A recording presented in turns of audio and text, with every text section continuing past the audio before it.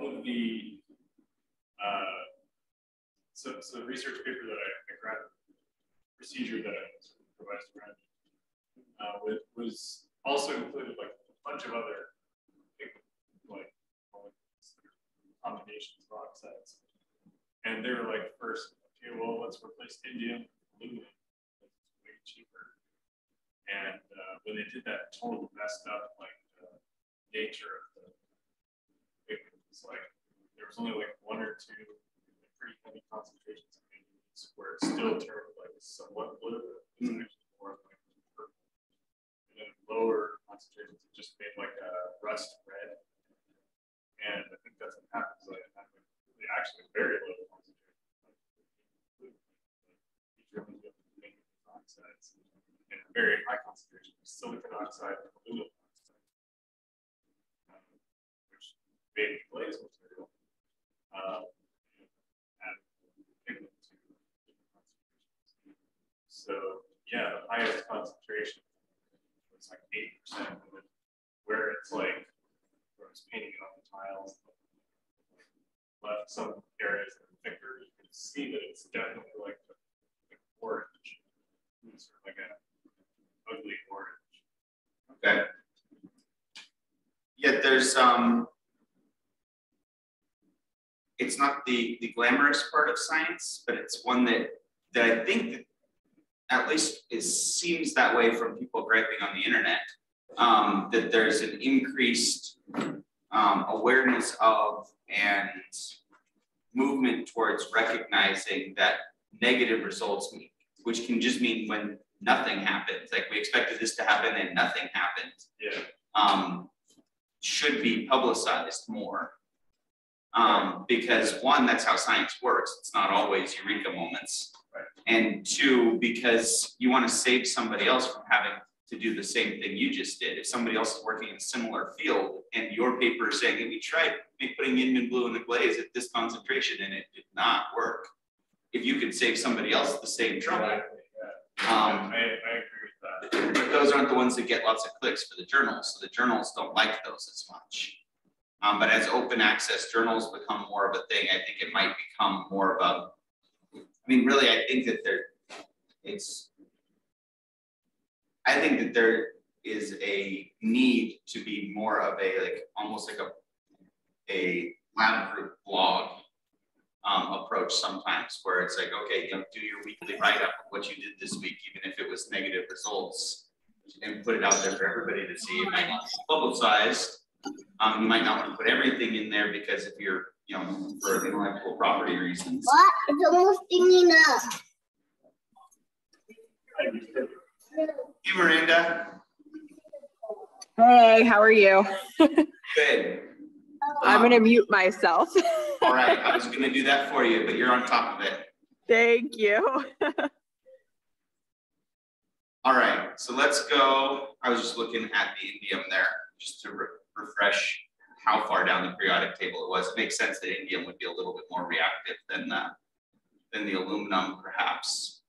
Um, but interesting. Yeah, or sorry, the, the aluminum would be more reactive than, than the indium. Yes, it doesn't. It only like got up to that temperature like right now. Mm. So it was only like that quick. You know, it's going to replace the indium mess up yeah, you might be able to do something at a lower temperature, but you might also have to do something like where you fix the chromophore before you put a glaze on rather than um, in the glaze itself. But then again, I don't know ceramics that well, so time to time to defer to Grace's expertise. Yeah. I think you know we're gonna try lower temperatures, and I'm gonna try a formulation that has no. Yeah, that could work. My silicates are really nice and stable. All right, um, random quiz question. I did get quizzes graded. Um, Hannah, are you feeling good about the um, D, D, E, and F on that on that one after we went through on the other day? A little bit better. All right, after break we can revisit that. I don't have the quiz pulled up, but we can we can make sure you're feeling better about that um, after break. Um, and then Miranda had a question about taste. Oh, I'm not showing the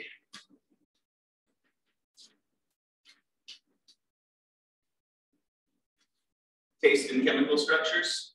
Um, Yes, that was me. yeah, it's this is a good question. Um, the actually the some of the earliest artificial sweeteners didn't share a same similar structure, but but you're correct. Most flavors that that taste similar have similar chemical structures. There are some exceptions to that. Um, I want to say that is it saccharin or aspartame? One of them is actually a um, a small polypeptide. It's like a tripeptide as aspartame. Um, that it does it basically works to make your um, your taste buds or your, your receptor sites for sweet more efficient. It basically it's it's similar to the way that capsaicin um, makes your your your um, receptors for heat overly sensitive, so you get false positives effectively. Um, and menthol does that for cold receptors. Aspartame does something similar for sweet receptors. So any small amount of sweetness that would normally be detected, the sensation is increased. I want to say like 300 fold. Um, it's a it's a pretty big relationship because remember these are exponential relationships because these we're really talking about equilibrium relationships. For most um, most times we're talking about something docking with an enzyme. Um, you got an enzyme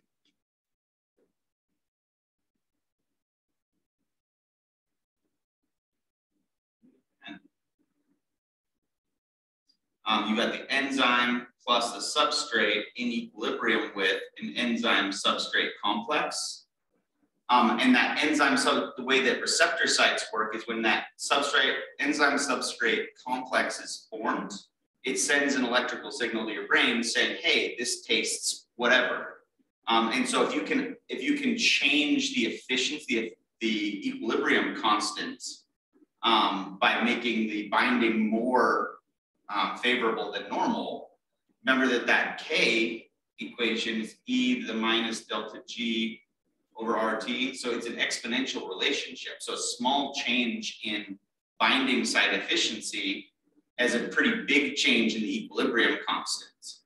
Um, and so you see that with a lot of artificial sweeteners where they just bind to those receptor sites just a little bit better. They don't all work by increasing the efficiency. Some of them actually do mimic the chemical structure. Um, and you see that a lot with what they call the sugar alcohols. Um, are basically they're detected as being 80 to 80 to 500 times more sweet than sugar. They still have calories in them, but you can use 500 times less to get the same effective amount of sweetness. So a lot of times when you see like um, low carb stuff, like low carb energy drinks and stuff like that, um, it's a sugar alcohol that just hits those receptor sites more effectively than sugar. So you need less of it.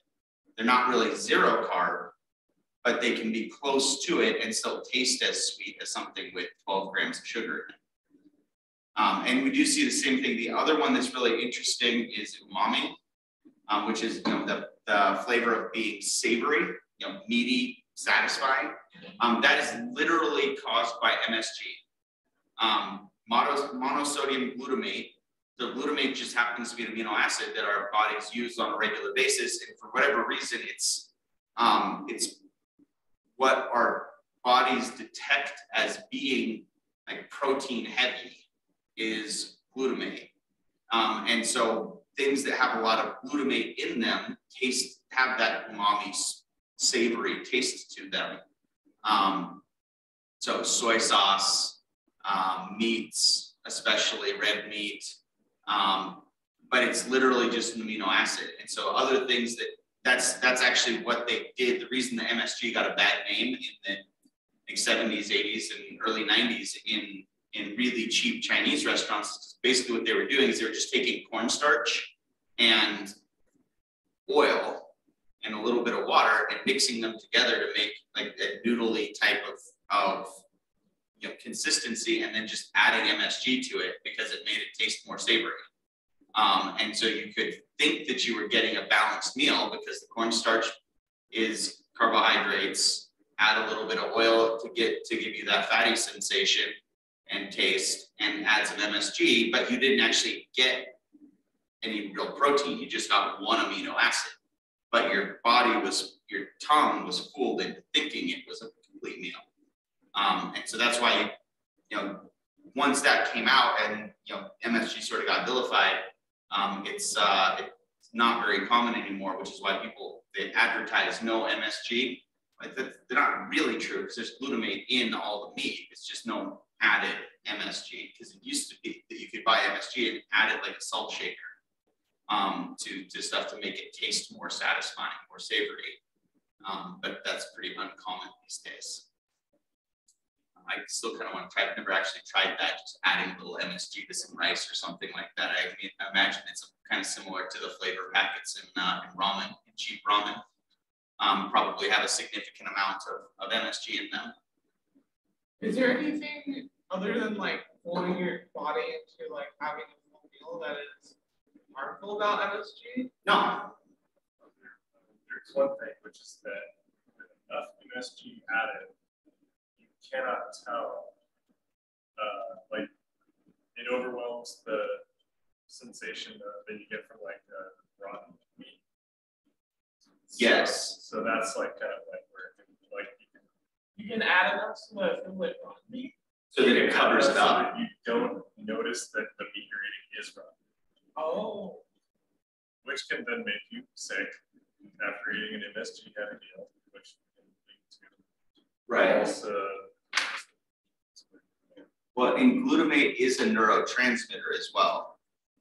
So there, there are, there are downsides to it, but it's, it's a necessary nutrient. Um, it seems kind of unfortunate that we just kind of vilified an entire seasoning like that. well, because it's not supposed to be just added as a seasoning. It's the way that our bodies are designed to uptake it, it's supposed to be as part of complete proteins. Um, and so just adding it like that is a little bit like using artificial fertilizer, just adding ammonium phosphate or ammonium nitrate to soil instead of using manure that has all these biological components to it as well. So it's, it's a way to sort of bypass the entire system. Um, it's not saying it's always harmful, but it definitely, if you overload your body with glutamate, it does affect things like learning um, and and memory to some extent. Um, but it's it's and it's not entirely clear exactly how because those are such complicated pathways. It's not even dopamine's complicated, right? Dopamine's way simpler as far as its function goes um, compared to, to glutamate in you know learning and memory. Um, so it's it's probably best that it got at least toned back severely. Um, maybe probably not necessary for it to be vilified to the extent that it was, but you know, you can't always control public perception as much as science might like to sometimes. All right, these are the last two that we ended with the other day.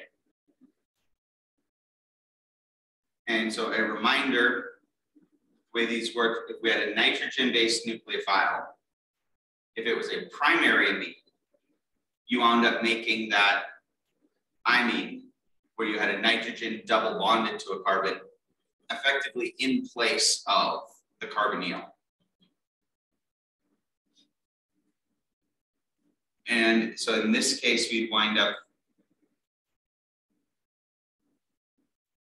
making intermediate that looks that it was that carbinolamine. Basically, it was like the, the nitrogen version, version of an acetal. And again, we have another ring ring closing here. So we want to be sure that we um, that we draw the right number of components here. So the nitrogen is now part of the ring. So one, two, three, four, five. So it's going to be a pentagon. And see if we can kind of keep everything more or less where it was. So I just rotate the nitrogen down, carbon two and three stay where they are.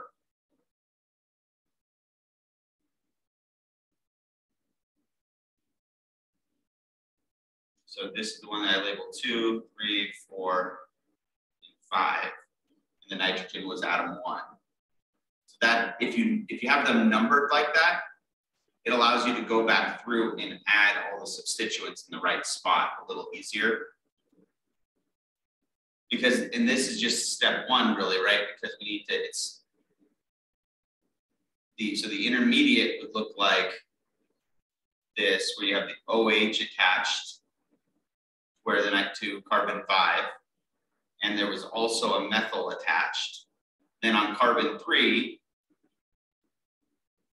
was dimethyl as well. So our intermediate would look like that. And then the next step is kicks off the oxygen and you form a carbon nitrogen double bond. And so nothing really changes position once you do that. Getting the ring structure drawn for the intermediate is almost the trickiest part. Make sure you get everything in the right spot. But if you're careful and methodical about it, and again, it can be really helpful to have them numbered both when you're on the original molecule and on the part that you're drawing. Um, you, you should be able to do that without too much trouble. So then the next step would be nitrogen or the oxygen leaves. I'm not showing the proton transfer step, just showing the, the larger bonds breaking.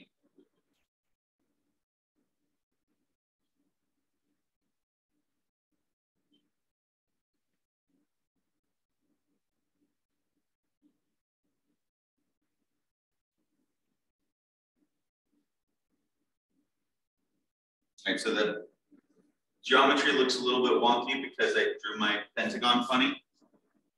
Um, but I think we can we can all see what's what it's supposed to look like at this point. Right, and so then that's the the real trick is getting the ring structure drawn, and then of course remembering what the new functional group looks like, right? Especially when we're approaching it cold after a couple days off one day off.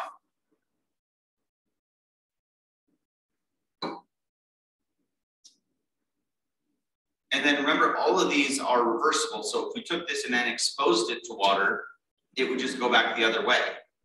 You'd wind up with ring opening reaction, replacing that carbon nitrogen double bond with a carbon with a carbonyl again, and reprotonating the nitrogen. And so it's it means if you're if we're thinking about this the right way, we actually have twice as many reactions. We, are, we get double the bang for our buck when it comes to memorizing these ones or remembering them, right? remember them forward, just remember they can also happen backward and you have a whole nother set of reactions, like the one on the right hand side.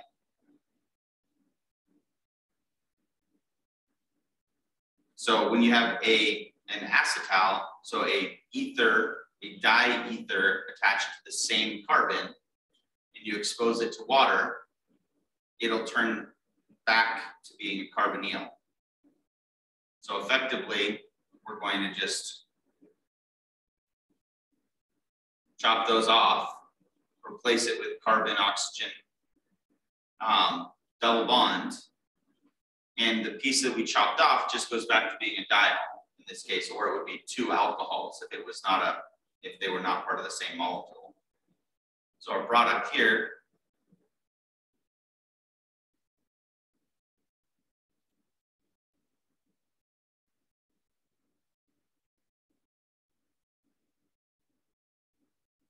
looks like that.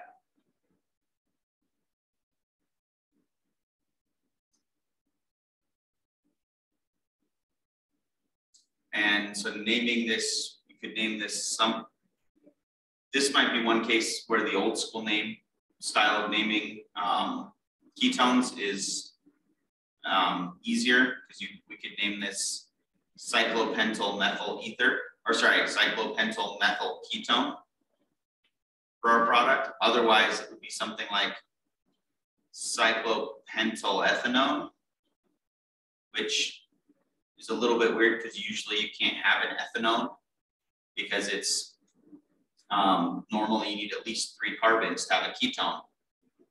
On you need three carbons in a row to have a ketone, right? So in this case, because the cyclopentyl group is the third carbon, it it gets a little bit funky as far as that name goes.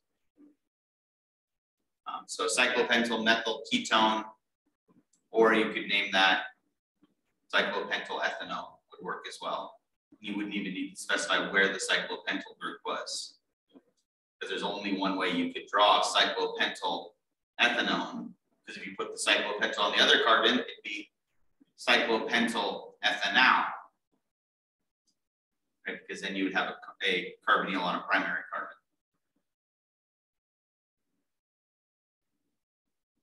All right, questions on these two?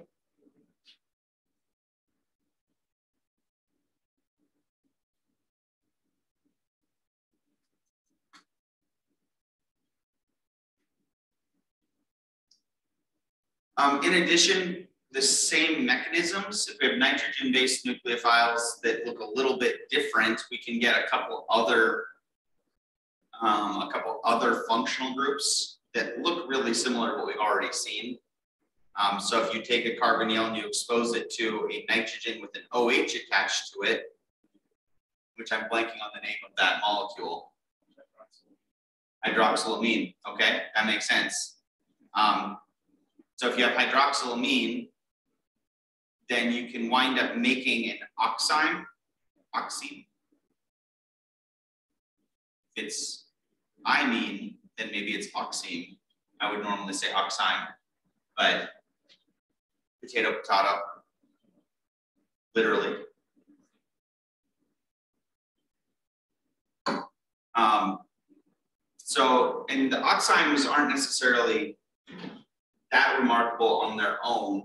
There's a whole field of study dedicated to basically to every functional group is going to have its own field of study, both in synthetic chemistry and in finding applications for these functional groups.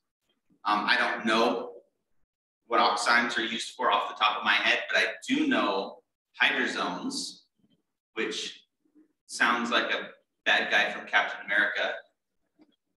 Um, hydrazones are useful mostly because we can take a hydrazone and we can actually completely reduce it all the way to an alkane. So by converting a carbonyl to a hydrazone, it gives us the ability to totally remove the oxygen. It's one extra step, but that's a pretty powerful tool because up to this point, all of our reductions of oxygens had to stop at the alcohol. So the fact that we can now, this gives us the ability to go all the way to an alkane is pretty powerful. Um, and that, that reaction is called the Wolff-Kishner reaction. Um, and that, sorry, that, and that's specifically talking about the reduction of the hydrazone. Right, so converting a ketone to a hydrazone just requires exposing it to, it's not azide, the di nitrogen nitrogen compound, N2H4, hydrazine maybe, is that hydrazine? So if you expose a ketone or an aldehyde to hydrazine, you make a hydrazone, which makes sense because if you take a hydrazone and you make it out like a ketone, let's just take hydrazine, add one to the end of it. Um, and then from there, just exposing it to really common molecules um, like potassium, potassium hydroxide water, sodium hydroxide water, and a little bit of heat, and you wind up producing nitrogen gas and um, adding hydrogens to the carbon. So you wind up fully reducing, the, you wind up oxidizing the nitrogen and reducing the carbon all the way to the alkane.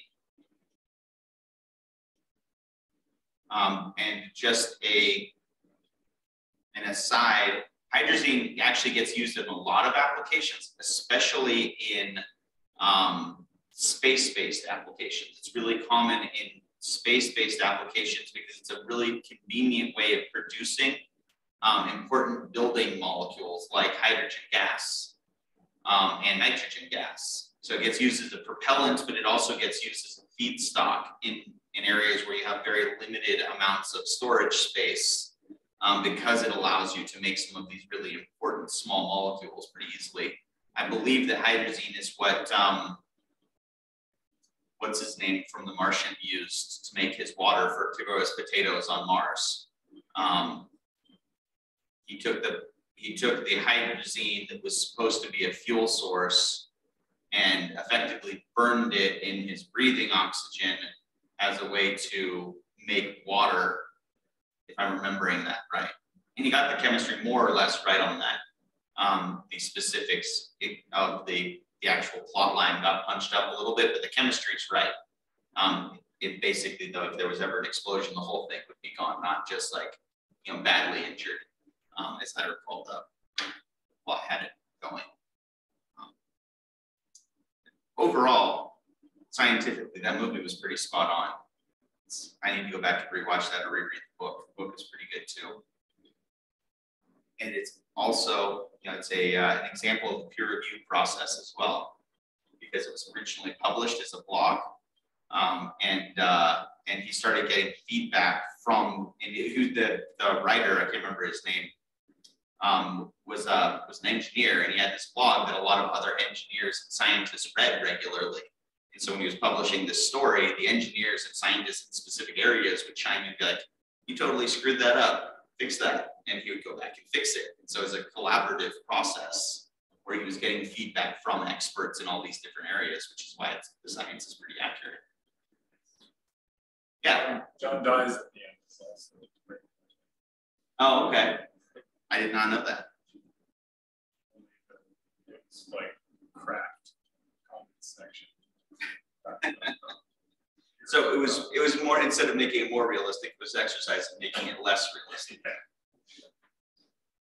Um, so all of these functional groups that we've been talking about, so acetals, imines, enamines, and to a lesser extent the oximes and and hydrazones, um, can all go through reversible reactions. And what all of the reversible reactions have in common is this plus H2O. It's the common um, the common reactant there. So basically, they're it's similar to being a hydration reaction. So, but a hydration reaction was for an was an addition reaction where you added a whole water molecule. In this place, we're using water to split a molecule apart. So it's a very it's a subtle difference, but it makes what's called a hydrolysis reaction. So hydro from water and lysis means splitting. So basically, you're using water to split the original molecule apart when you do this in the in the reverse reaction. Um, you could think of all of the forward reactions being dehydration reactions because they all produce a water molecule. And the reverse reactions would all be hydrolysis reactions. Um, and again, then that term gets used all the time in biology as well, um, because we're making acetals and hemiacetals all the time when we're making these polymers out of, of carbohydrates, right? Um, and so adding water to split cellulose into a bunch of glucose molecules is a hydrolysis reaction as well. Um, so all of those reactions where you break down starches, where you break down um, glyc or glycogen and stuff like that, they're all hydrolysis reactions because it's all fits under the same broad category.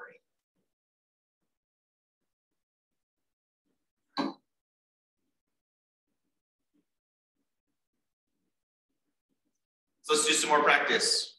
Like I said, this, these mechanisms are also similar, so all, the, all that's left to do is just to refine the, the subtle differences and get, get some practice with these. Do, do A and C first, and I'll put B and D on, on the next slide.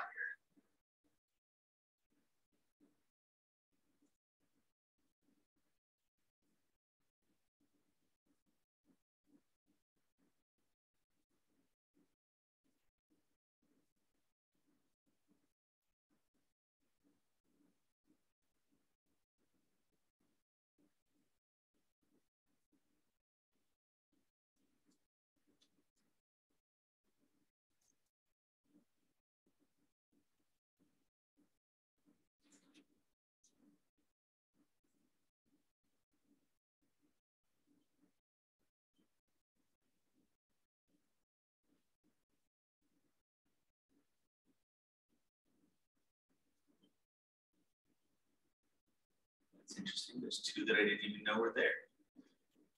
Add those ones in here too.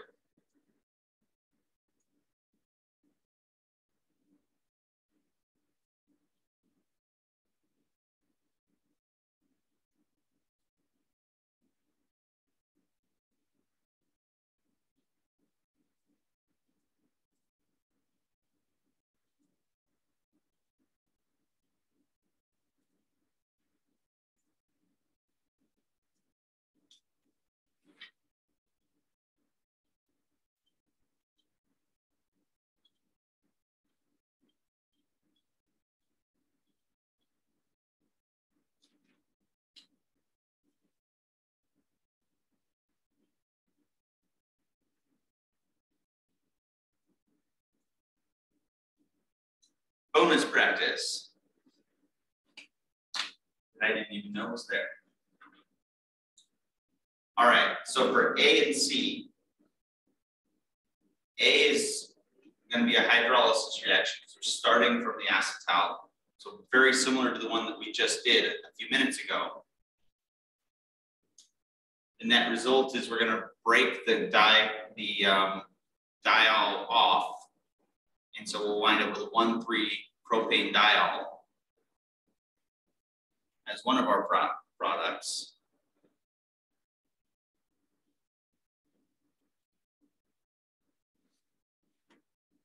And the other product is cyclopentanone.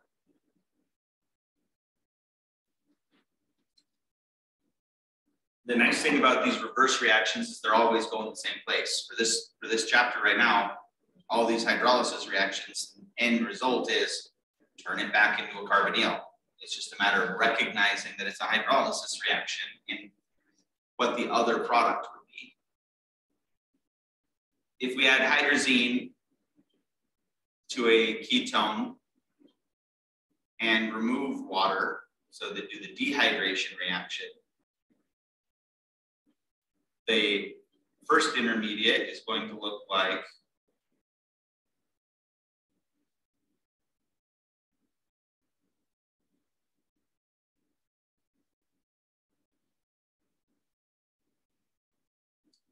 this.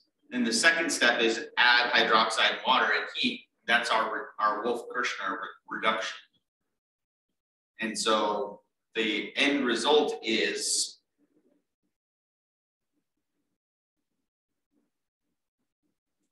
that molecule. You could add, you could draw the uh, the two new hydrogens on just to maybe get explicitly clear what's going on, but you don't really need to. Our end result, skeletal structure is that methyl, two methyl, one cyclopentyl propane. Or isobutyl cyclopentane.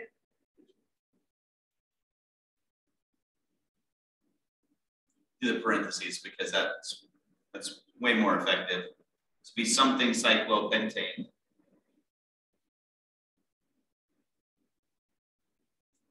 And so it's going to be 2 methyl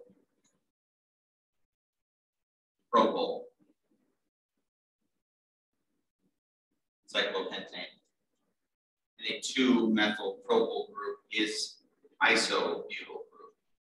So you could name this isobutyl cyclopentane if one was so inclined.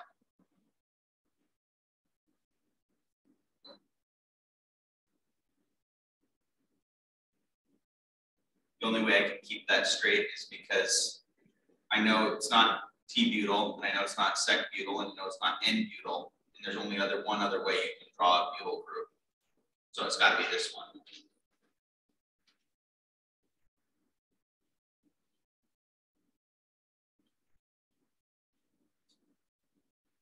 All right, so for these other reactions here, sometimes the hydrolysis reactions mean we wind up um, undoing a ring closing reaction. We have a ring opening reaction that we'll see on D, but let's do B first.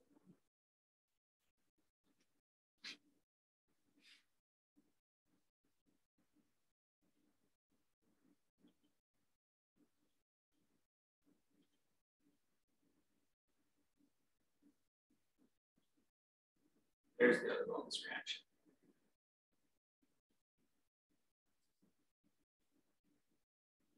So we did, we did this bottom one a second ago. We'll go back and do the other one just for more practice here in a minute. So as soon as we recognize we have an imine here, we're adding, adding water.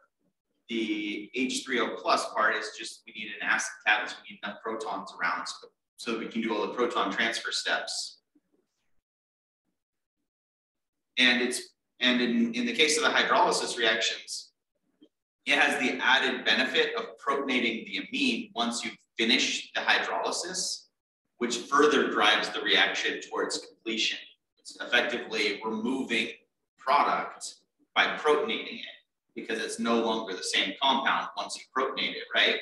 And so it adds one more layer of, um, of equilibrium that we can lean on um, by, by protonating that nitrogen. So we can get even more complete reaction in the hydrolysis reaction by just making it extra acidic.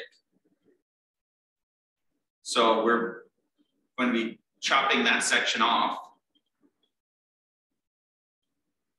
And remember the, the starting point to make the imines was, um, was just a primary nitrogen, was a primary amine, right?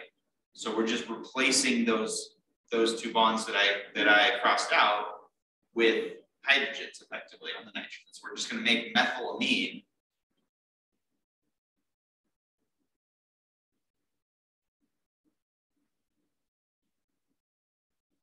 And I will say, methylamine always makes me think of Breaking Bad. I just respect the fact that they dedicated a whole season to finding a precursor. Um, and it's a really common precursor in chemistry. It's a reason that's actually accurate that they would have a whole tanker car on a rail, railroad um, just filled with methylamine because you use it to make everything. Um, so in this case, we make methylamine as our product, and then we're replacing that just with another carbonyl. So in the interest of putting all the carbons back where they where they were, we could draw it this way. We could flatten it out if we wanted and make it. Um, it would just be two pentanone would be the product there.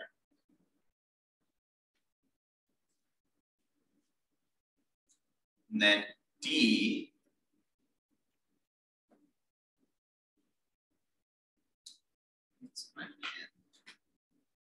did buy this really cheap stylus two and a half years ago now.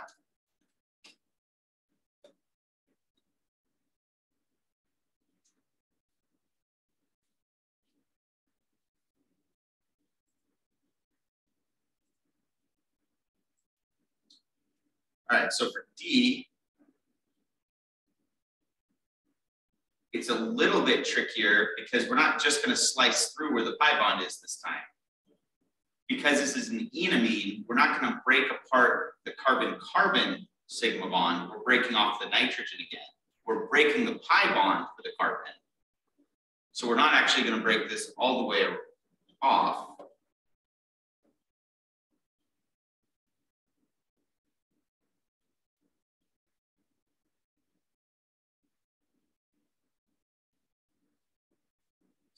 we're going to break that nitrogen off and break there. So we're still going to wind up with something that's um, similar structure as norbornane, but with a ketone where the nitrogen is. These, the enamine hydrolysis is probably the trickiest because it's not just a matter of finding the pi bond, chop it in half, and add a carbonyl. I even said that when I said it was going to be a ring opening reaction, and I was wrong, right? That's yeah. Um, so we'll, we'll wind up with dimethylamine. CH3, 2, NH. And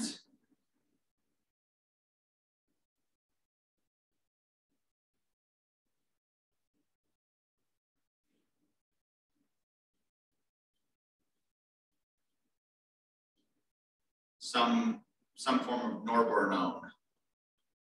Um, and there would be some, when you have molecules with a common name, especially with complicated structure, there's a, there's typically a numbering system that's already included in it, so we would just, we would need a number, but I don't remember this one off the top of my head. Um, so we would just, it would be, want to say that carbon seven is the bridging carbon. And carbon one is one of the, is, would be this carbon. Or the carbon in front. So I want to say that this is two norbornone, but I don't know that. There's some arbitrary numbering system though. I think I have to agree.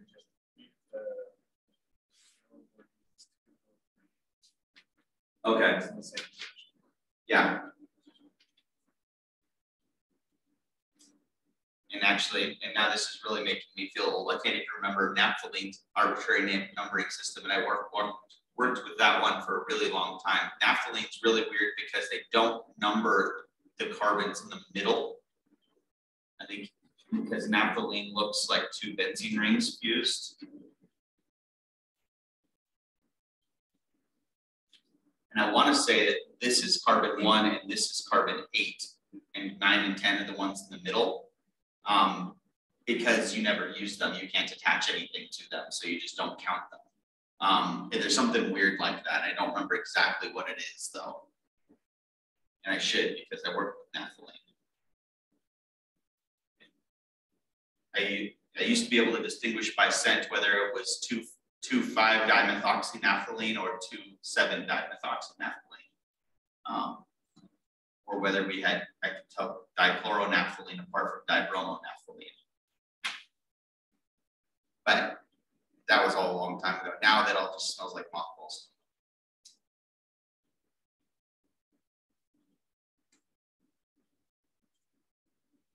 All right, let's, is this one worth?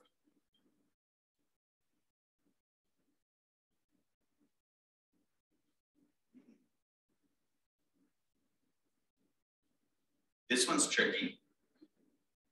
Let's do C here. It's not actually that tricky once you see it. It's really straightforward once you see it, it's one of those things that takes a.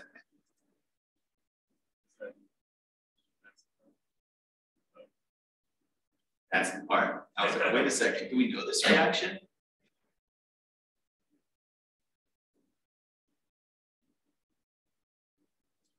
That's your acetal right there, not on the big molecule. So we're gonna make formaldehyde and some more complicated diol. So it's just, it's a little bit backwards from the other ones where the acetal was on the big complicated side and we had a simpler diol. In this case, the diol is a bigger complicated molecule. And the acetal is gonna make the simple molecule. Or sorry, the aldehyde is on the simple molecule. The other side would be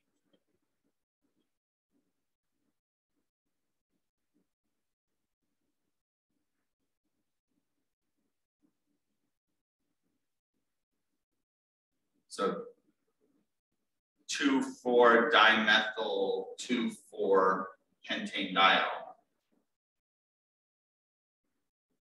And formaldehyde.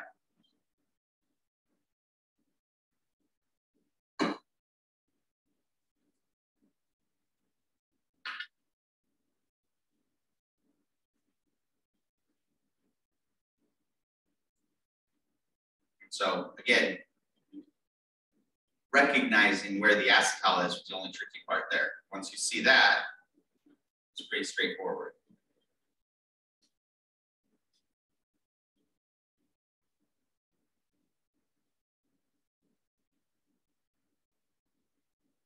Here's a ring opening reaction on F.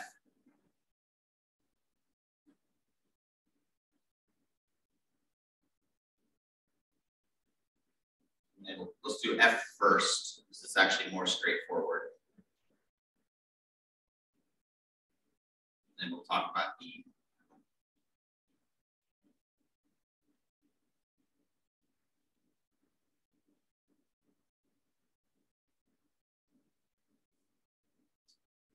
So for F, start by finding the carbon that's, that's one of our functional groups that we can hydrolyze.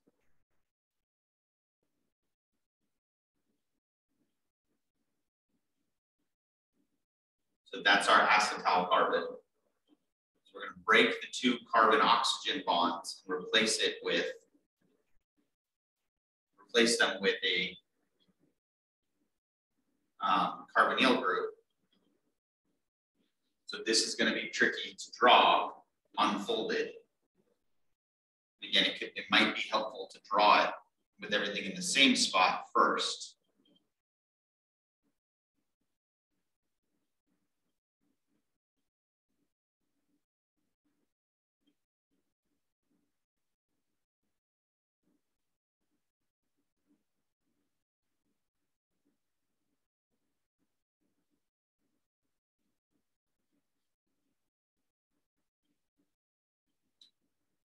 That looks really weird now. But now we can see where all the bonds need to be and we can unfold it.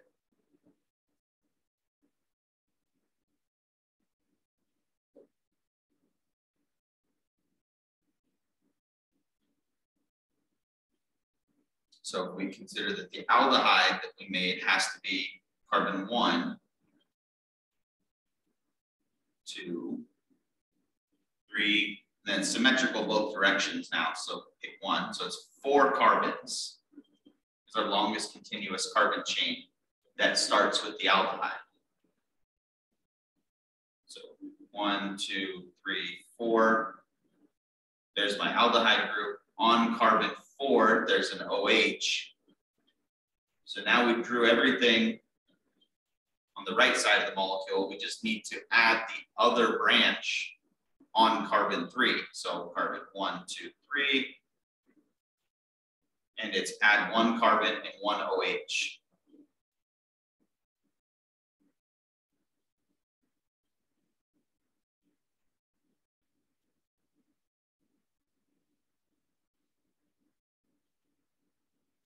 And that would get really messy to name it IUPAC because now we've got the aldehyde still have precedence or is it the diol? Does the diol, fact that there's two of them take over, it's probably still the aldehyde with preference, with uh, priority. So we name it as a hydroxyaldehyde. But then we also have a complicated branch that is a hydroxymethyl. So if this molecule doesn't have a common name, it would be something like, the IUPAC name would be something like 4 hydroxy 3 parentheses hydroxymethyl close parentheses butanal. We haven't messed around much with using hydroxy as a prefix, so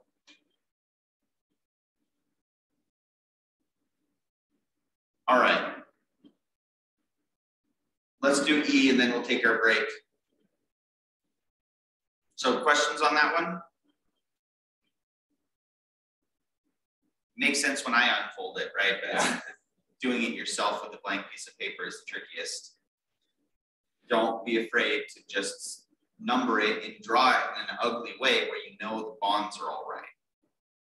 So it's extra work, takes extra time to draw it if you're going to redraw your product twice. But if you can be sure that you didn't lose a carbon and that that's going to allow you to put all of your groups in the right spot, that's fine. We wouldn't typically want to leave it the way I had it drawn in red as your product because that's that's really ugly for no reason, right? That's and not for no reason. It's so that you don't have to redraw it, but it'd be a, a fairly non-standard way of drawing this. So we want it to be drawn in a way that somebody to make it easier on our readers.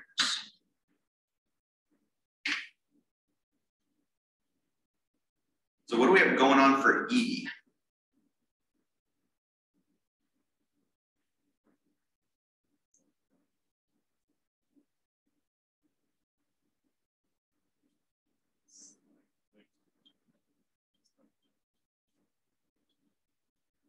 I guess maybe we call this a dienamine. But maybe with diene in parentheses and amine coming after because the ene part is di, but not the amine part. So I would take this one step at a time. Ignore one of the double bonds and just treat it like we're like one of the enamine reactions that we did before. So pick one of these. I'm just going to say that one is the carbon nitrogen bond we're going to break first and redraw the product and see what we get.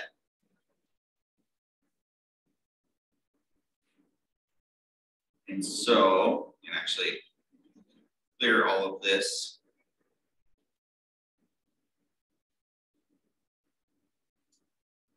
So we're going to wind up with six carbons and then a nitrogen.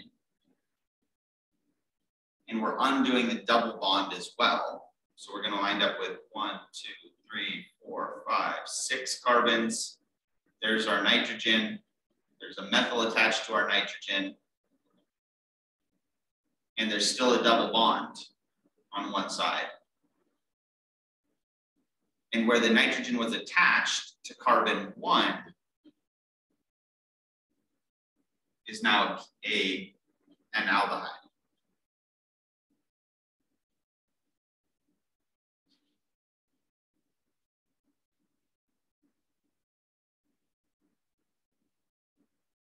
And again, if you redrew it still in that somewhat cyclic structure, but with everything broken apart, that's not a bad approach, just since this is a just a regular ring, it's not too tricky.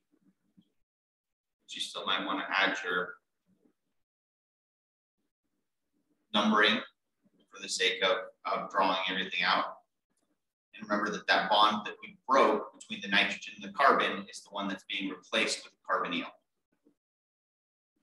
the sigma bond that we broke is where the carbonyl goes. Once we get here, we still have an enamine. It's a little bit of a weird enamine because we're used to our enamines have needing to be secondary amines.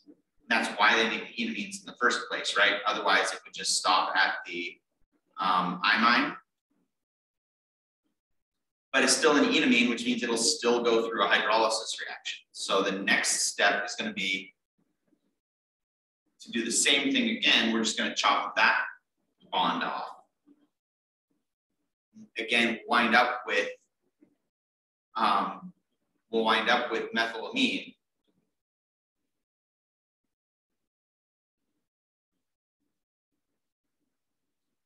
And where I use the red line to break that nitrogen off, we're adding another carbonyl. So make sure you double check your counting. One, two, three, four, five, six. So one, two, three, four, five, six.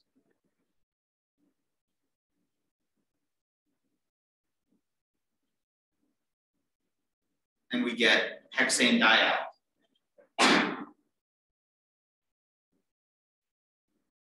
Fun fact about dialdehydes. I'm a I'm going from memory here, but I'm about 90% certain that that's where dial soap gets its name.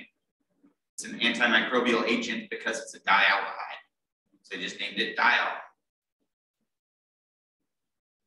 I don't think it's still a dialdehyde though, because those aren't particularly good for you. But then again, benzaldehyde is, is almond extract that's perfectly fine. So the right dialdehyde is probably fine. What would you call feeding a What? It's dialysis. All right. Okay. I, I told my one of my worst chemistry jokes to my Gen Chem class yesterday. So we are talking about molecular formulas, or not Gen Chem, intro to Gen Chem. Um, about molecular formulas, compounds versus mixtures.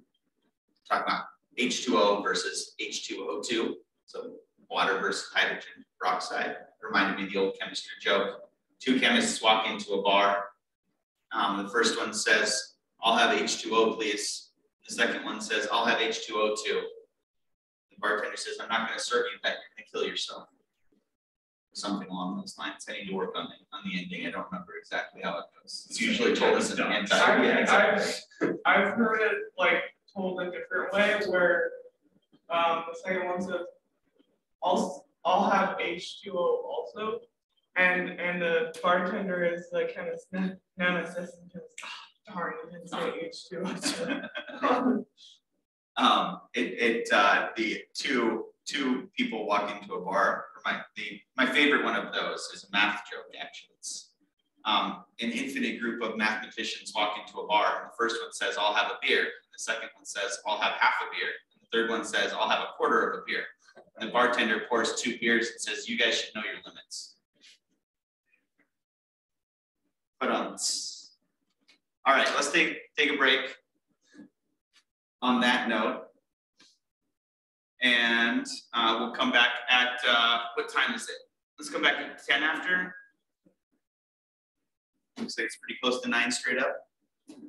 Yeah, ten after, and we'll practice some more. So you mentioned, uh, vaccines. Mhm. So, yeah, uh, vanilla. oxime. However you pronounce it. I, I say oxime. Okay. But I have, I have limits to the consistency of pronunciation. Yeah. Um, Really nice to crystallize. Okay, It's, uh, it's just like forms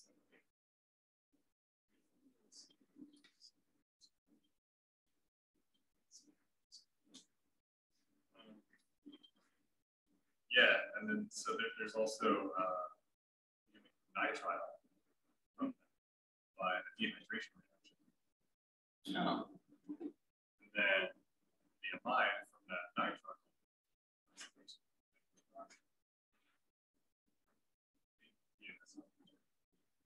okay, So that's that's fun. Yeah. Yeah, making, making organic molecules from, from natural products just for the heck of it. Not everything has to have a practical application yet, right? Yeah, sure.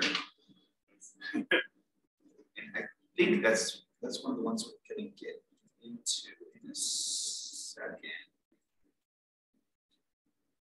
It's making cyanohydrates, which is the other way of referring to nitriles, right? Uh, Um, well, nitrile is just an organic cyanide. So since that's, oh, cy- yeah, cyanohydrate has the OH attached to it. That's what it is. Um. Yeah, we'll talk about those in a second because you can then take those. Um, once you make the nitrile, if you expose it to lithium aluminum hydride, you can make the amine. So you can make vanillamine. I didn't have lithium aluminum hydride. Probably for the best. Yeah. Since I live in a, uh fire prone area. Yeah, exactly. Nothing like burning down the whole town, you know. But I mean, vanilla, it was so cool.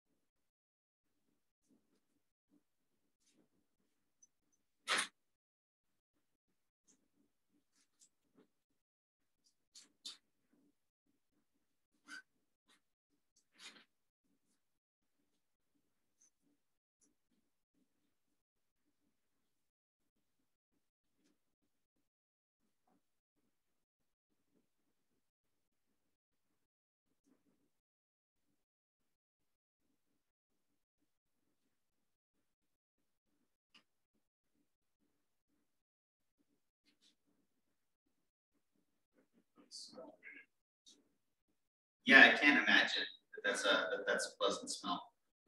Um, I mean, you can say that about just about anything with the sulfur in it. Um, I can't think of one off the top of my head that smells acceptable.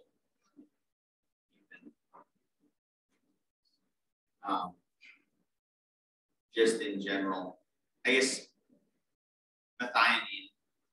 I don't know that the methionine smells bad. It can't smell that bad because it's present in small amounts in most most meats and proteins. So methionine and cysteine have to at least be tolerable.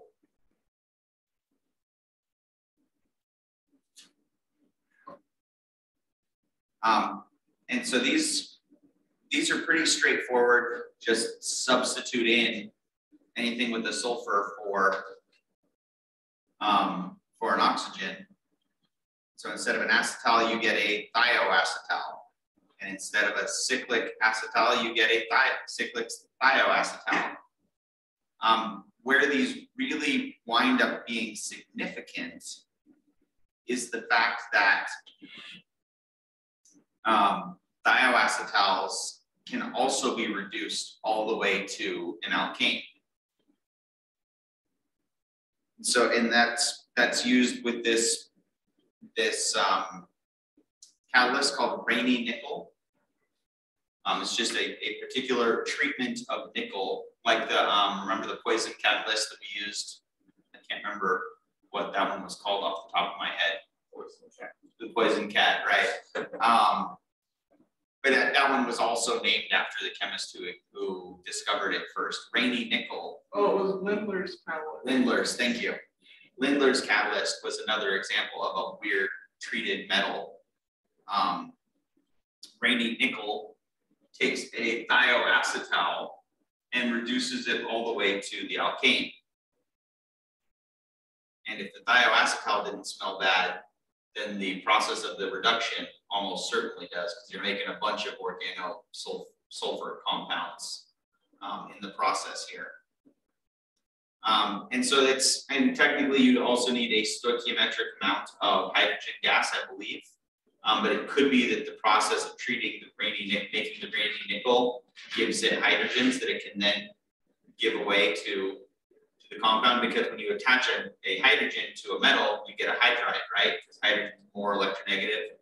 So the process of making the Raney nickel could involve, um, sometimes they use the phrase impregnating the surface with with hydrides um, to basically preload it so you wouldn't actually need hydrogen gas specifically, but I believe that this is still one where you use hydrogen gas as your other reactant. It's just not commonly drawn. Um, so that's pretty helpful in that now we have several different ways that we can reduce a class two carbonyl all the way to the alkane um, we didn't actually, I'm not sure if we used the term or not, but the Clemmensen reduction is when you had that benzylic um, carbonyl, and you expose it to that zinc mercury alloy and HCl, and you got, got the reduction all the way to the alkane. That one's very specific to only benzylic carbons. Um, so it's a little, and its yield is still not all that great. But then again, a lot of these reductions are not going to have great yields overall um, because in general, fully reduced carbons aren't all that stable and in systems where you also have oxygens around, right? Because if there's any oxygen gas around or any oxidizing agent, you're fighting against equilibrium in order to make these fully reduced carbons. So they typically don't have great yields. This 80 and 70% are some of the higher yields um, for, for reduction reactions. Um, and they also have, so they, they have varying conditions for them. So the reason that this is significant is because sometimes if we have other things attached that we don't want to fully reduce, Do we want to keep them in a particular form, choosing which of these three methods we use to reduce the carbonyl winds up being a really useful tool. So if we have other R groups that are stable in the acid but not the base, we could use the Clemmensen reduction. If we have R groups that are stable in the base, um, we can use the Wolff-Kishner reaction. Um, and that one has good yield, applies to any carb, class two carbonyl anywhere. Um, but you have to have R groups that aren't going to also react with a base. So you can't, can't have, you know, a chloride, for instance, or a bromide is not, you wouldn't want to use the Wolff-Kishner reaction if there was a, say, a bromine right here. Because you're also then going to be competing with a substitution reaction, right? So anytime you have a good leaving group, you don't really want to have another nucleophile around if you can avoid it. So the, the desulfuration, de, desulfurization, desulfurization um, is one that's lower yield, but it's under acidic conditions, so you don't have a nucleophile competing for anything. So if you have other R groups that are good leaving groups, you probably would have to use the desulfurization as sort of a last ditch effort. If you can't use the Clemmensen reduction because it's not on a benzoic carbon, and you can't use Wolff-Kishner because your other R groups would react, then you go to desulfurization.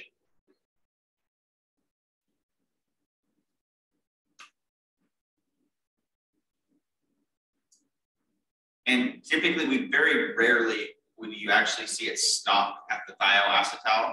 Like occasionally for a test on this chapter, you might have to stop at a thioacetal. But in general, the, the reason to make a thioacetal is so that you can follow it up with, with the um, Raney nickel treatment.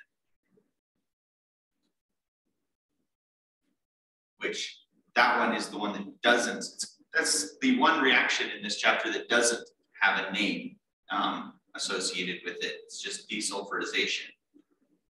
Um, we're going to add a few more named reactions here in a minute. Uh, quick recap of hydrogen nucleophiles and carbon nucleophiles. We've seen these before. Their behavior is the same as any other nucleophile. It's just a hydrogen as a nucleophile. So we have nucleophilic addition reaction, and we even saw this exact mechanism back when we first learned about making alcohols, right? So hydride attack followed by protonating that the resulting oxygen.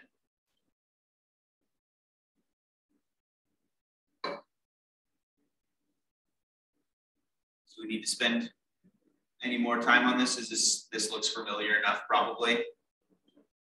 And anytime we start talking about hydrogen nucleophiles, the next slide is almost always carbon nucleophiles.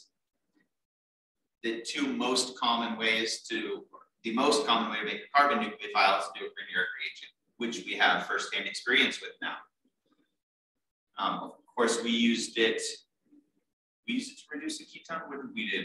We, no, we used it to use CO2 as our nucleophile, or for the second step, or for our electrophile, CO2 for our electrophile and the our Grignard reagent is the nucleophile um, to make benzoic acid.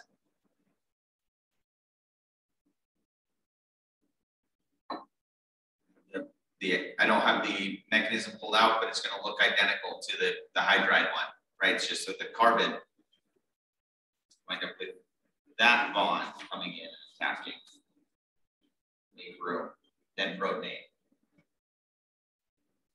right? And the fact that we're starting from planar molecule means if we make something that has stereochemistry, we should get the racemic mixture unless there's some other um, sterics involved.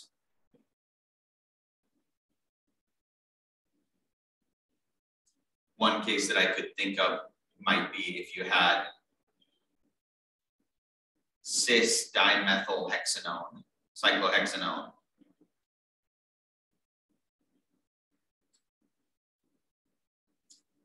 or even bigger branches like that, then just pure sterics is going to favor the your new carbon coming in and attaching from behind.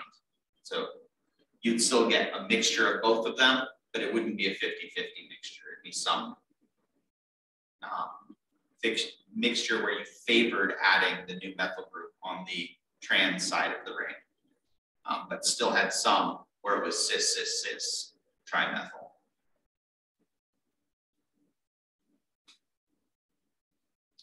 So let's add another carbon nucleophile that showed up back in substitution reactions, but then we kind of left it alone for a long time. Um, cyanide is a good nucleophile. And cyanide as a nucleophile is useful in that if we think of that of that cyanide group just as a polyatomic ion, it's not all that obvious why that's different, except for once you add it and actually draw the structure, it allows us to add a carbon and a nitrogen. So this is a way we can add just a single carbon to this system pretty, pretty easily. Um, before, the way we would have to add a single carbon would have been something like add an acetylide and then go through ozonolysis. Ozonolysis isn't a super useful reaction, right? Because you have to bubble ozone into a solution. It's the practical limitations of ozonolysis are such that um, it's not all that helpful sometimes. So in this case, when we have cyanide acting as a nucleophile, we wind up with a cyanohydrin, which is just a, a cyano group or nitrile group attached to the same carbon as an OH. So just like enamine is two, um, two functional groups kind of combined together, a cyanohydrin is two functional groups combined together. It's a nitrile attached to the same carbon as an OH. Um, and so it has characteristics of both of those functional groups. Most significantly, once we get to the, the cyano group being added, there are two further transformations we can make. If you take a cyano group and you expose it to lithium aluminum hydride, you fully reduce that carbon. And in doing so, you wind up making it an amine. On the other hand, if instead of doing it under basic conditions, under reducing conditions, if you do it, if you put this through a reaction with excess acid in the presence of water, you wind up basically knocking that nitrogen off and having and um, replacing it, turning it into a carboxylic acid. So there's our way we can add just a single carbon. We add it as a cyanonitrile, cyanohydrin, um, and then reduce, oxidize it, excuse me, all the way to make this. And then from here, you could take this and you could expose this to lithium aluminum hydride to turn it all the way into being a another alcohol attached there.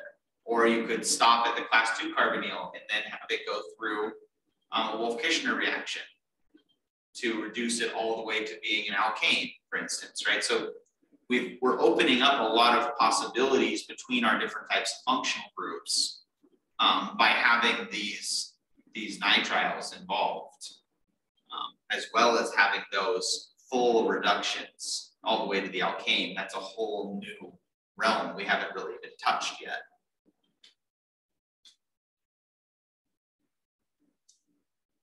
So let's do some practice.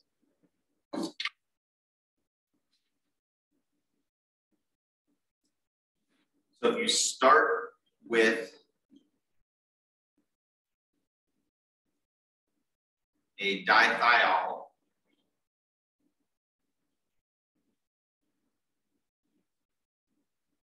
we get the sulfur equivalent of the acetal, you get the thioacetal. Just double check how big your ring structure would be that gets attached.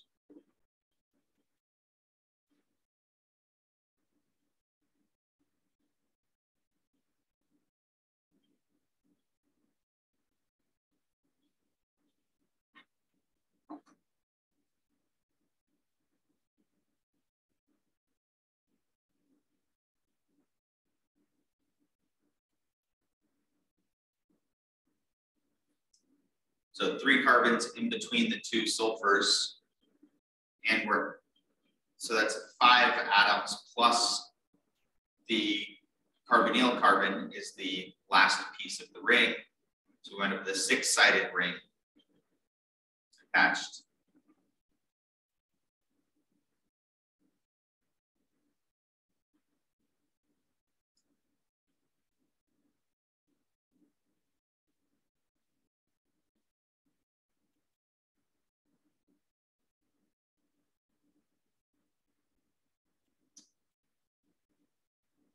Go through step one here,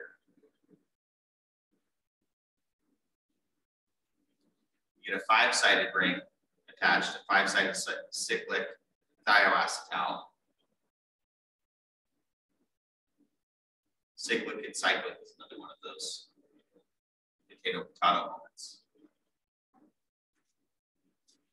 But then we're gonna follow it up with the Raney nickel. Which is gonna have the net result of get rid of all that sulfur.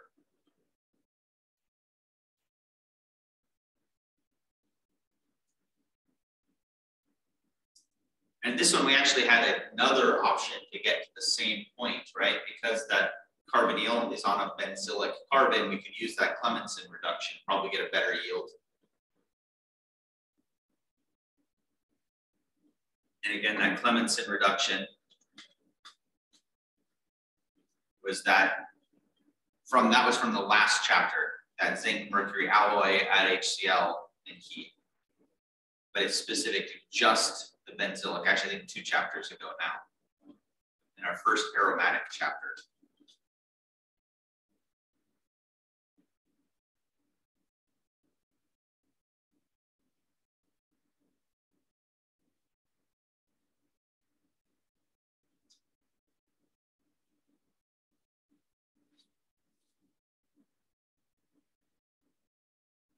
So pH MgBr, phenyl magnesium bromide. That's a Grignard reagent, right? That's the one we made. So we're gonna have a benzene ring as our nucleophile attaching to the carbonyl carbon.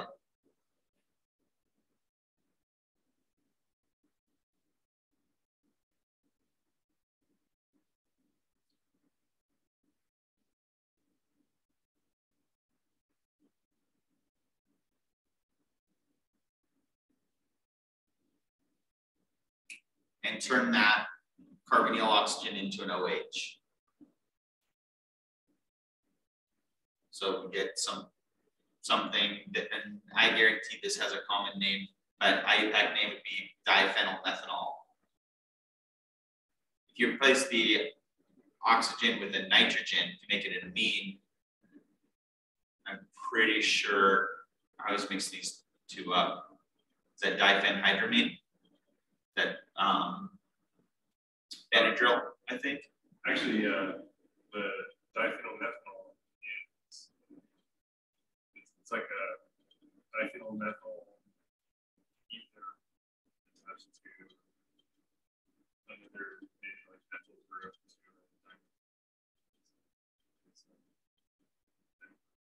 Okay, so yeah, Benadryl is something that's got two phenyl groups and a and a nitrogen in the middle. Then there's there's one that's just nitrogen di, diphenylamine is a different pharmaceutical compound. Diphenhydramine is a little different. I always mix those two up because they both look very similar.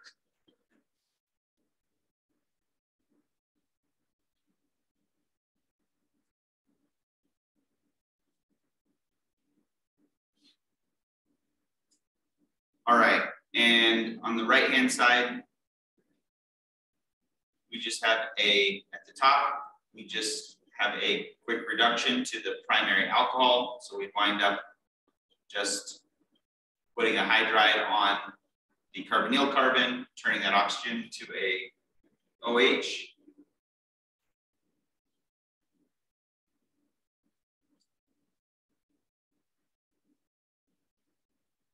And if we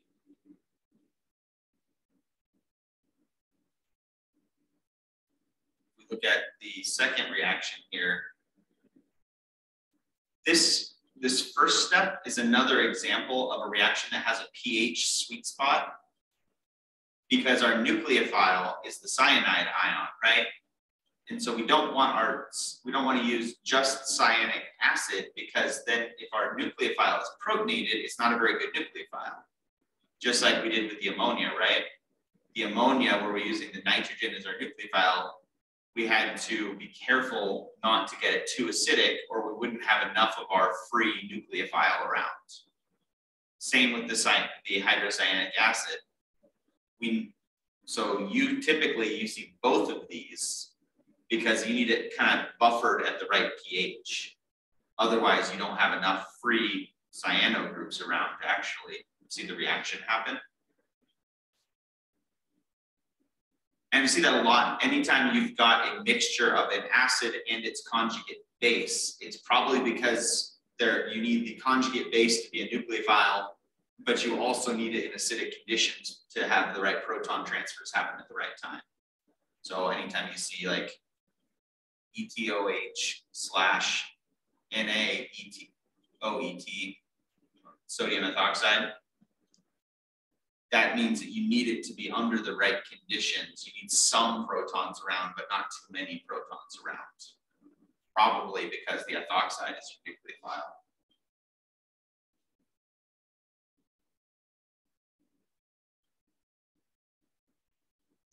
All right, so for this middle one, we'd start by attaching the cyano group to the carbonyl carbon, make the cyanohydrin.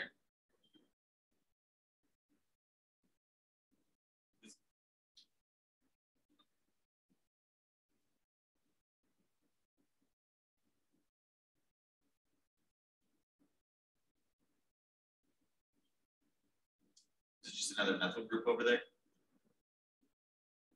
Should look more carefully before I add to this. Or was it the aldehyde? This is, uh, so One more. Okay. So then the next step was expose it to lithium aluminum hydride. So we're not going to oxidize that carbon and take it to the carboxylic acid we're going to reduce everything.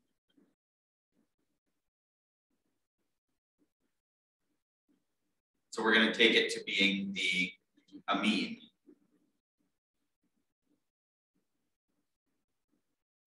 The OH stays where it was. That carbon just becomes a regular alkane carbon. The nitrogen just takes two hydrogens.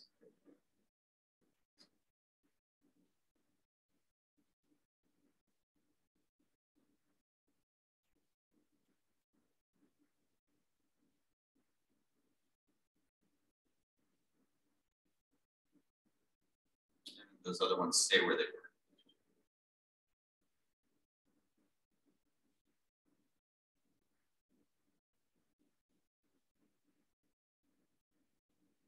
It's easy to see when we get into chapters like this why a lot of people, especially in no offense, Miranda, this gets directed a lot at, at pre-med students.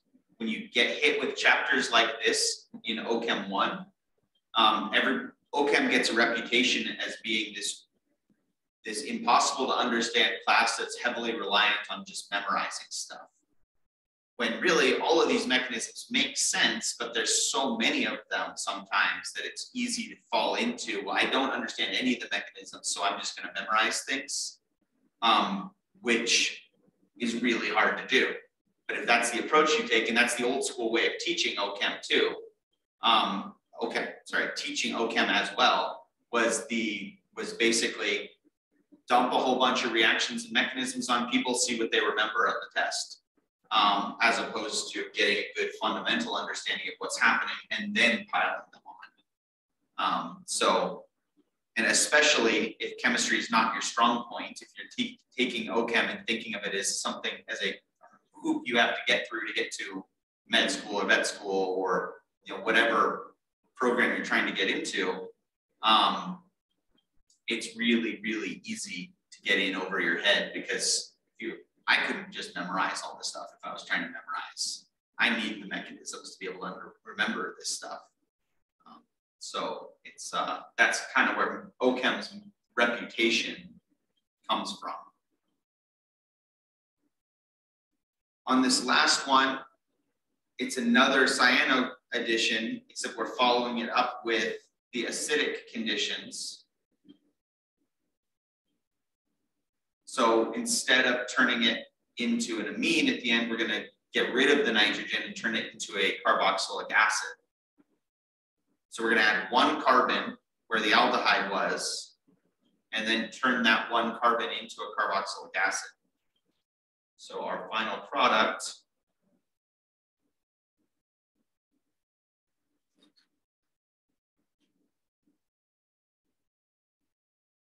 look like this.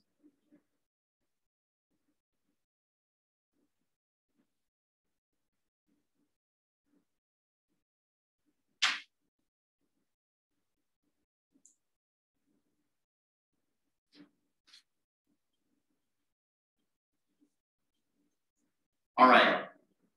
Here's the last mechanism for this chapter, and it's a doozy. Um, it's a cycloaddition with carbonyls involved. So remember, cycloaddition Diels-Alder reaction. Um, and it's called the Wittig re reagent, Wittig reaction. Um, it's the, the German, where you pronounce a W is a V, or is that Russian? I can't remember. Um, German. So Wittig reaction is effectively you replace a carbonyl group, you replace the oxygen with a carbon-carbon pi bond. So this is another way we have of adding carbons to our carbon structure or to our carbon skeleton. Um, and it makes use of this, this weird molecule called a Wittig reagent. So it's triphenyl phosphorus attached to a carbon. The carbon that it's attached to winds up having um, an, a lone pair in one of the resonance structures. And so that means it, it makes a pretty good nucleophile. And the, the extra push here that takes it all the way from being just a, a, a nucleophilic addition to being to making the, the alkene is the fact that a phosphorus oxygen bond is really favorable. So you wind up basically swapping the um, carbon phosphorus bond for a phosphorus oxygen bond is the net result here. I'm trying to think where else. I was like with the with the hydroboration oxidation. We started with borane, and then we made the carbon boron bonds because those were more favorable, and then we made the boron oxygen bonds because those were more favorable. And then we were and then we were able to pull off the um, the boron from the final product. And so this is similar in that it's going to have a couple of steps. Um, and once you know what you're looking for, it's pretty obvious. Anytime you see this triphenyl phosphorus, it's going to be Wittig reaction. And so it works, the mechanism for it is is a two-step mechanism, but both of the both of the steps are kind of tricky because it's a two plus two cycloaddition. So remember with cycloadditions, that two plus two means two electrons from one molecule and two electrons from the other molecule reacts. So Diels-Alder was a four plus two cycloaddition because you had four electrons reacting on one side and only two electrons on the other. The Wittig reaction is a two plus two cycloaddition and you make this four-sided ring intermediate that's pretty unstable and then immediately fragments, which is essentially, it's kind of like leaving group leaves or rearrangement happening at the same time. It's basically undoing a cycloaddition, but it does it at the same time. Um, and the one of the ways you can understand this is um, it's like one of those old timey dances where people are doing a waltz and then they do a fancy step and then the, both partners switch. So you started with carbon phosphorus bonds and a carbon and a carbonyl, and you do a quick two-step, and you wind up with carbon-carbon bonds and phosphorus-oxygen bonds.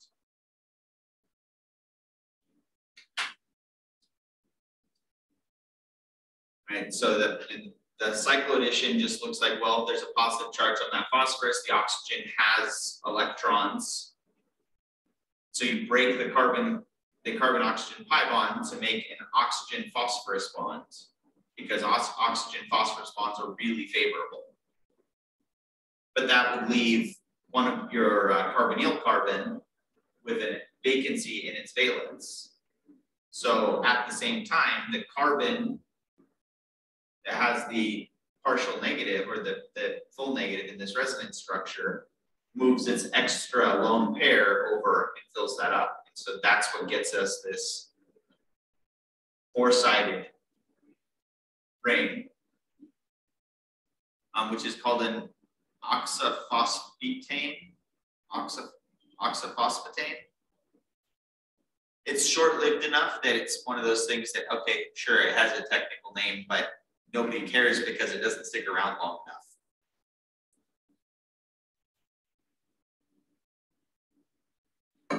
And then that immediately breaks apart. So well, I made one oxygen phosphorus bond and that was stable. So let's do it again.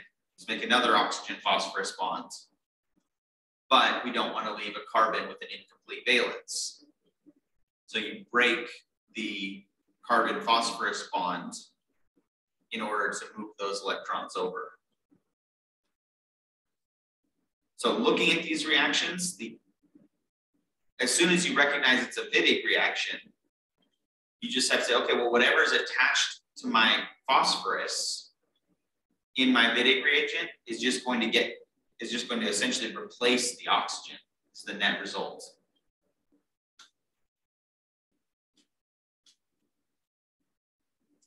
So making the Wittig reaction, the reagent, is its own, its own special, special hell. Um, you start with the triphenyl phosphorus and just an alkyl halide, and then you have to, so when you expose it to that, you make a phosphonium salt, which can actually store these. They're not very stable, but you can store these a little bit. They're an ionic compound. Um, they're going to be even less stable than a Grignard reagent though. So, you know, less than a week ideally. Don't let it get exposed to anything. Um, and then if you take that and expose it to um, butyl lithium, or a lot of times referred to as N-butyl lithium. N-butyl lithium gets used because that you have a carbon with an extra pair of electrons. It basically deprotonates. It's a very strong base, even stronger base than amide, than sodium amide. And so its use in this case is limited to it's going to steal a hydrogen from that, that phosphonium salt's carbon. Um, so it deprotonates a carbon. Tells you how strong of a base it is because at least that carbon's attached to a phosphorus and carbon's um, able to be more electronegative than the phosphorus. And so then you just wind up with a carbon with a lone pair attached to a phosphorus, and that's relatively stable because you have this resonance structure where you wind up with a carbon phosphorus double bond as well. And the carbon phosphorus double bond is not super stable because you have a phosphorus is in a different row on the periodic table, right? So you have a mismatch in the size of the p orbitals. And so it'll make a pi bond, but it's not a very stable pi bond. So between that and the fact that carbon is slightly more electronegative than phosphorus, that's enough for carbon um, to have a net partial negative, which can then go in and be used um, to react with a carbonyl. So weird, different at least, more or less makes sense, even if I wouldn't have, you know, you wouldn't have been able to probably draw this from scratch. If I just said, predict the mechanism for this reaction, nobody would have gotten this, right? Um, this is not where anybody's head would have gone. Um, but it sort of makes sense when you compare it to, to pericyclic reactions like the Diels-Alder reaction. It's not all that different. Where it gets really painful is the stereochemistry. Because if you have a if you have an alkyl group as your Wittig attached to your Wittig reagent, if you have an electron donating group on your Wittig reagent, you get the Z product, which seems weird because we're making a something, our final product here seems like that's the less sterically favored product. But if you look at the sterics of making that four-sided ring, putting these, these two things next to each other allows them to actually be avoiding sterics in the intermediate stage. So when we have an electron donating group attached, we get the Z as the major product. And with a high degree of stereoselectivity, it'll depend exactly on, on how big these groups are that are attached. Um, but it'd be something on the order of like somewhere between 70 and 95 percent um, make, making the Z product. So if we think, go back here, if you think of these two hydrogens, if you replace one of them with an electron with a, a methyl group, then, and we need to actually be able to tell the difference over here as well, so make that an ethyl. Um, it's going to arrange itself so that those are trying to be in a staggered conformer. And that means that you wind up with the final product being the Z product. It's a little bit difficult to visualize, but it has to do with the geometry of this phosphorus up here, because that phosphorus has a coordination number of five, right? It has five different electron groups attached to it which means it's trigonal bipyramidal, which means you've got 120 degree angles happening in here. Plus, they're some of them are constrained because it's a four-sided ring, and those are forced to be 90 degrees from each other. Um, so when you put all of that together, the net result is that the sterics favor the Z if it's electron donating. But if it's electron withdrawing, this is where it starts looking like the Diels-Alder reaction. Remember that with the Diels-Alder reaction, if it was electron withdrawing, you got the exo. If it was electron donating, you got the endo product. I think I said that backwards. But regardless, the electron donating versus withdrawing made the sterics not be as significant. The sterics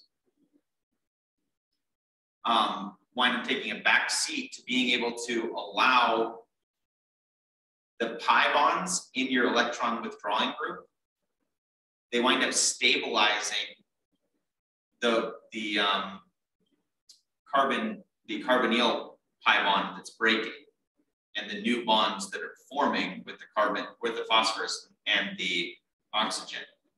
So remember they had that in when we talked about the Diels-Alder, we said that there was called them like secondary orbital interactions.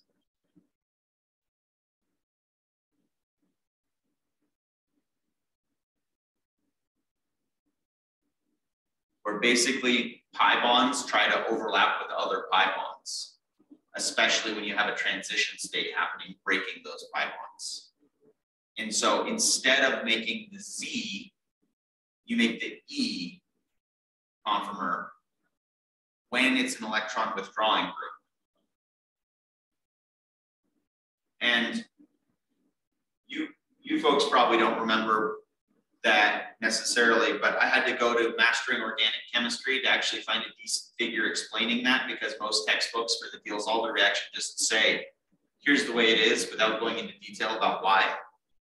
Um, it's even harder to find a decent video explaining stereochemistry of the Wittig reaction that doesn't just say electron donating Z, electron withdrawing E.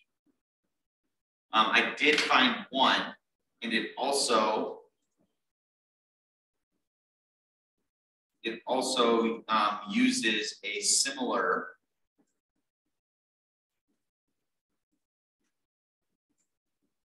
select it.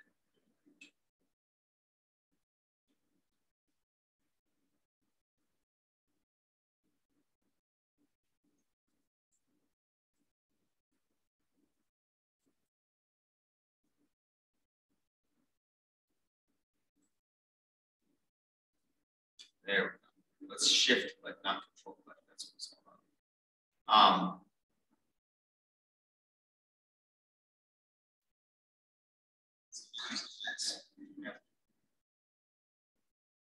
Um, he, this guy's a guy from Georgia Tech, and he actually starts getting into the drawing these figures in a program very similar to MacMolPlt um, as a way of, of explaining this 3D and showing these structures, what's happening. So the orange is your phosphorus, um, and the two R groups are the green ones. And so he, he gets a little bit into the orbitals um, and or actually those would be the electron donating, but then he talks about electron withdrawing and how that works further on.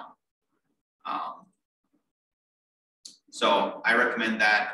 And then the other one was, I was going to show right as we're ending, Wittig reaction, stereochemistry. Google search I got there before. I think it was a Professor Dave Maybe it was mastering organic chemistry. Um, there's one of them that actually had a video or a little GIF of um, of people waltzing. It was a an old old timey like dancing diagram.